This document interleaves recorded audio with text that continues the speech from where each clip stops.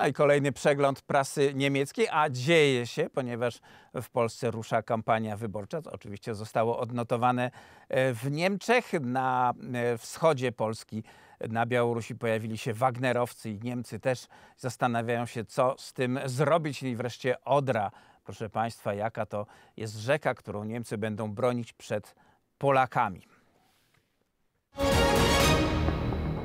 Temat pierwszy czyli kwestie polityczne. Zobaczmy te gazety, które się tym zajęły. Polski premier wzywa Webera na telewizyjny pojedynek. To jest największy problem w Europie. Polityk z kolonii krytykuje brak konserwatywnej zapory przeciw prawicy. Wybory parlamentarne, PiS i grzyby. Nigdy nie zaszkodzi kilka antyniemieckich tonów. A teraz po kolei zaczynamy od strony internetowej niemieckiej telewizji ARD i jej program informacyjny Tagesschau zajął się e, polską kampanią wyborczą, a właściwie udziałem w niej Martina Webera.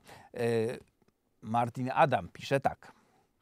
Po raz kolejny rządząca polską partia PiS wścieka się przeciwko Niemcom. Tym razem w ogniu krytyki znalazł się lider Europejskiej Partii Ludowej Weber, ponieważ prowadził kampanię na rzecz kandydata Tuska. Miarka się przebrała, mówi Mateusz Morawiecki, patrząc poważnie w kamerę. Jako premier nie pozwoli na zniesławianie wyborów w Polsce. Gniew Morawieckiego, wyrażony w formie filmu wideo na Twitterze, jest wymierzony w Martfreda Webera, lidera konserwatywnej grupy EPP w Parlamencie Europejskim. Nazwał nas wrogami. Przestań, powiedział Morawiecki. Jeśli Niemcy przyznają, że będziecie interweniować w wyborach w Polsce, to powinieneś wystąpić z otwartą przyłbicą. Panie Weber, proszę nie wysyłać na pierwszą linię swojego pomocnika Donalda Tuska. Sam stań pan twarzą twarz do debaty. Weber jako wróg. Szef polskiego rządu wzywa Martfreda Webera na telewizyjny pojedynek. Rządząca partia PiS znalazła w Weberze wroga, bo jako szef EPP Weber wspiera w obecnej kampanii wyborczej polską partię opozycyjną, PO skupioną wokół Donalda Tuska. W końcu należy ona do europejskiej rodziny partyjnej EPL. W niedzielnej rozmowie z telewizją CDF Weber tłumaczył, że PiS jest przeciwnikiem politycznym. I mówił tak: każda ze stron musi zaakceptować rządy prawa. To zapora przeciw przedstawicielom PiS w Polsce, którzy systematycznie atakują praworządność i wolne media. A wszyscy inni, którzy tego nie przestrzegają, jak niemiecka AfD, jak Le Pen we Francji czy PiS w Polsce, są dla nas przeciwnikami i my toczymy z nimi walkę. Autor dalej tłumacząc, że mówiąc my, Weber miał na myśli Europejską Partię Ludową, a w Polsce zrozumiano to, że mówiąc my, mówił my Niemcy. E, a i tak PiS wziął sobie Niemców jako cel w kampanii wyborczej. W tekście pojawił się też problem zbierania grzybów e, ale rozbudujemy to przy okazji tygodnika Stern. E, kiedy wpisałem w wyszukiwarkę słowa portalu Stern słowo Polska, pojawiło się coś takiego. Na pierwszym miejscu co? Kradzież samochodu w Niemczech i odnalezienie go w Polsce, czyli najbardziej uparty stereotyp. Polacy jako złodzieje samochodów. No to czytamy. Skradziony samochód kempingowy odnaleziony w Polsce dzięki GPS. Z wioski niedaleko Pasewalko złodzieje ukradli kamper przygotowany na rodzinne wakacje dzięki nadajnikowi GPS. Po kilku godzinach wakacyjny pojazd został zlokalizowany i odnaleziony w sąsiedniej Polsce. Sprawcy są wciąż poszukiwani. Stary schemat, proszę Państwa, Polacy to złodzieje samochodów, urodzeni i to dla przeciętnego Niemca, zwłaszcza ze wschodniej części, najważniejsza sprawa. Na politykę miejsca znacznie mniej. W Szternie wszedł tylko tytuł Wybory parlamentarne, PiS i grzyby. Nigdy nie zaszkodzi kilka antyniemieckich tonów. Nils Kruse pisze o terminie wyborów i o tym, że tutaj, cytat, prawicowi konserwatyści ponownie używają antyniemieckich tonów. Z Warszawy regularnie dobiegają tyrady. Słuchacze przekazu polskiego rządu mogą odnieść wrażenie, że kraj otaczają sąsiedzi o złych intencjach, którzy co najmniej nękają Polskę od zachodu. To znaczy głównie z dwóch miast, Brukseli i Berlina. Czy Berlin zakazuje w Polsce zbierania grzybów? Czasem przybiera to kuriozalne formy, co pokazał ostatnio Jarosław Kaczyński, lider partii rządzącej. Bez ironii Oświadczył on, że Niemcy z pomocą Unii Europejskiej chcą sprywatyzować polskie lasy i tym samym zakazać Polakom zbierania grzybów. To jedno z tych zuchwałych stwierdzeń, którymi PiS ma nadzieję podburzyć opinię publiczną. Nasi arcywrogowie w Brukseli i Berlinie odbierają nam teraz jedno z naszych narodowych dóbr grzybobranie. A rzeczywiście wiosną Europejski Trybunał Sprawiedliwości nakazał Warszawie zmianę niektórych przepisów dotyczących leśnictwa. Powód? Najwyraźniej naruszają one dyrektywę Unii Europejskiej w sprawie zasiedlania zwierząt leśnych. To czyli kuriosalne formy, ha, ha, ha, śmiejemy się, ale jednak Trybunał Sprawiedliwości Unii Europejskiej wchodzi e, w kompetencje polskiego państwa, zajmuje się lasami, może to robić, jest to zgodne z przepisami, z traktatami, no ja nie wiem, państwo wiecie na pewno lepiej. Dalej autor pisze o szefie Europejskiej Partii Ludowej, Manfredzie Weberze i wezwaniu do debaty, jakie przedstawił mu Mateusz Morawiecki. Antyniemiecka to nacja w polskiej partii rządzącej. Nawet 78 lat po wojnie wielu obawia się niemieckiej dominacji czy to jako sąsiada, czy poprzez Unię Europejską. Te resentymenty doskonale rozumie lider Prawa i Sprawiedliwości Jarosław Kaczyński. Rok temu jego partia przedstawiła analizę roszczeń reparacyjnych. Na 1500 stronach doszła do wniosku, że Republika Federalna będzie musiała wypłacić Polsce bilion 300 miliardów euro reparacji wojennych z kampanią wyborczą. Czy bez niej sprawa nie schodzi z wokandy? A poniżej ilustracja, nagranie z 4 czerwca, protest przeciwko rządowi PiS z dopiskiem po cichu umiera demokracja. No i proszę Państwa, jedziemy dalej. Sprawę Webera już znamy, ale dla niektórych Weber jest zbyt mało radykalny. Tutaj głos e, zabiera pani Katarina Barley, która mówi za mało towarzyszu Weber, walczycie z prawicowym odchyleniem.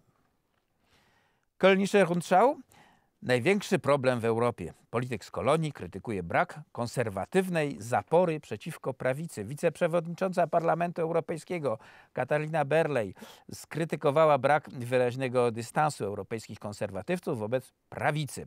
Zapora ogniowa konserwatystów przed prawicowymi populistami i faszystami już nie istnieje, powiedziała Barley gazecie Ausburger Allgemeine. Nie tylko ta zapora jest pełna dziur, ale także runęła w Szwecji, Finlandii, we Włoszech.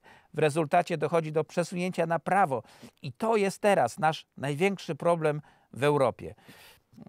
Katarina Barley to polityk, polityczka, politykini, to ta, która zapowiedziała, że zagłodzi Polskę i Węgry i nie wypłaci nam funduszy europejskich. No i wygląda na to, że parlament jest dość konsekwentny, ale dla niej Manfred Weber jest jednak zbyt mało pryncypialny.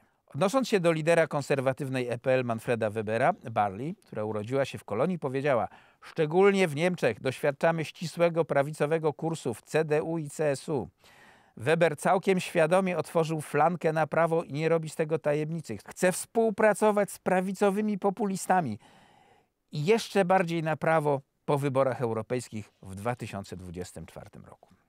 No i przypomnienie tego, co pan Manfred powiedział, raz jeszcze, na koniec tej sekwencji w niedzielę wieczorem w programie CDF Heute Journal e, Weber podkreślił, że jego partia przestrzega twardych zasad w kontaktach z innymi siłami. Tylko ci, którzy stoją po stronie Ukrainy, którzy chcą pozytywnie kształtować Europę, a nie ją likwidować i którzy bronią rządów prawa, mogą być demokratycznymi partnerami jego partii. Te trzy zasady są dla nas niezachwiane. Każdy, kto to zaakceptuje, może być partnerem, powiedział. Wszyscy inni, którzy nie przestrzegają tych zasad, AfD, partia pani Le Pen i PiS są przeciwnikami i będą przez nas zwalczani. Czasem nawet w Niemczech rzeczywistość dociera do czytelników. Tak jest w przypadku niemieckich patriotów. Nie, nie mam tutaj na myśli tych, którzy siedzą w polskich partiach, ale rakiety, a właściwie zestawy przeciwlotnicze Patriot, proszę bardzo, Tagesschau. Natowska obrona powietrzna w Polsce. Berlin oferuje przedłużenie rozmieszczenia patriotów. Niemiecki rząd zaproponował przedłużenie stacjonowania w Polsce niemieckich systemów obrony powietrznej Patriot do końca roku. Jako część zintegrowanej obrony powietrznej NATO systemy wnoszą cenny wkład w ochronę ludności cywilnej i terytorium naszego sojuszu na wschodniej flance. Pierwotnie systemy miały tam stacjonować przez maksymalnie 6 miesięcy. A teraz temat, który zaczyna się kulturalnie. Bayreuther Festspiele w Bayreuth w Bawarii odbywa się festiwal. Co tydzień można usłyszeć e, operę autorstwa oczywiście e, Wagnera, ale my nie o tym, a o Wagnerowcach, którzy pojawili się na Białorusi. To nie są miłośnicy muzyki, ale bandyci uzbrojeni przez państwo moskiewskie. No i odnotowała to prasa niemiecka. Berliner Zeitung pisze, najemnicy Wagnera na Białorusi próbowali wtargnąć na terytorium Polski. Tysiące najemników przebywa na Białorusi od prawie dwóch miesięcy. Osią tego tekstu jest wywiad, jaki dla CNN udzielił wiceminister spraw zagranicznych Paweł Jabłoński, gdzie zaznaczył, że Polska nie ustąpi wojownikom Wagnera. A Frankfurter Allgemeine Zeitung napisał tak.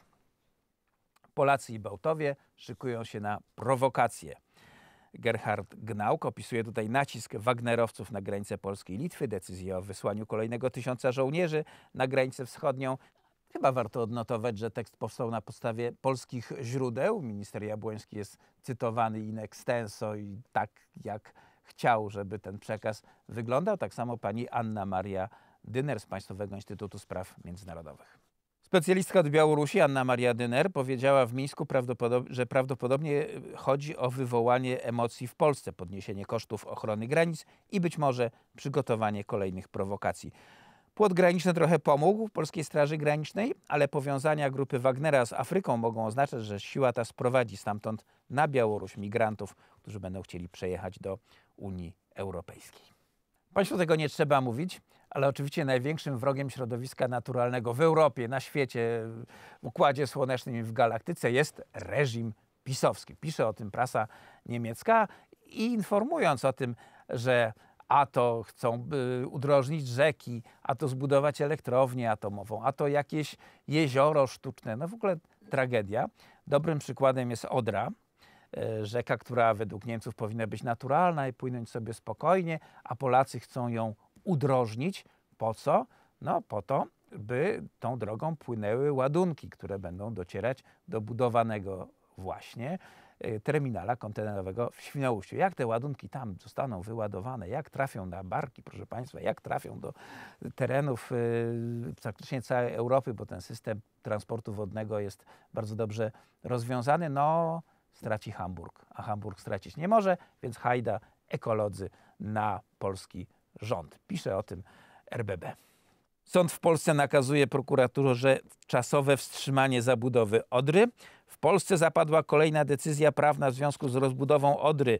Sąd w Gorzowie orzekł, że tamtejsza prokuratura powinna wyegzekwować wstrzymanie budowy nałożone w marcu przez Naczelny Sąd Administracyjny. No i co się okazuje?